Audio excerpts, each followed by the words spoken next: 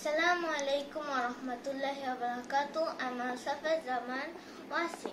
Today I will tell you a story which name is uh, The Camel and the Baby. One day, a camel and her baby were chatting. The baby asked, Why do we have big humps on our back?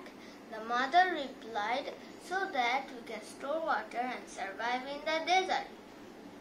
The baby asked again, Mother, why do we have rounded feet then? The mother replied, So that we can walk comfortably in the desert. Then the baby asked again, Then why do we have long eyelashes? The mother replied, So that we can protect our eyes from the desert dust or the sand.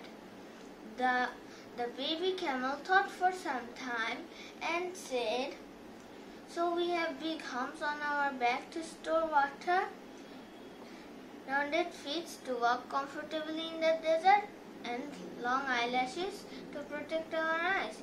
So what are we doing in the zoo? The mother staggered.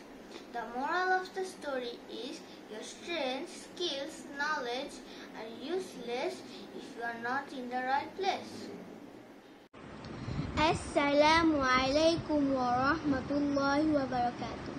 I am Zafira Zaid from Averroes International School. Today I will tell all of you a short story named Good Company, Bad Company. Two parrots built a nest in a banyan tree. They lived with their two young ones, which they took good care of. The mother and the father parrots went out to gather food in the morning and came back home by the evening. One day, when their parents were away, the young parrots were taken by a cruel hunter. One of the birds managed to escape and flew away from the hunter. He ended up at a hermitage and grew up listening to kind words and compassion. The hunter put the other parrot in a cage, and soon it learned a few words and phrases.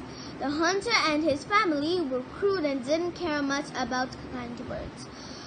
One day, a passerby was resting outside the hunter's hut. Sensing someone outside, the parrot said, Fool, why are you here? Fool, leave, I'll cut your throat. Scared, the traveler went away, and on his journey, he reached the hermitage where the other parrot was. The parrot at the hermitage spoke, Welcome, traveler, you are here to stay as much, as much as you want. Surprised, the traveler told the parrot that he encountered a similar parrot elsewhere, and it was very cruel. How is that you're so kind? The parrot replied, That must be my brother. I live with the sages, and my brother lives with hunters. I learned the sages' language, and my brother learned the hunters' language. The company we keep decides who we will be. The moral of the story is keep a good company if you want to be a good person.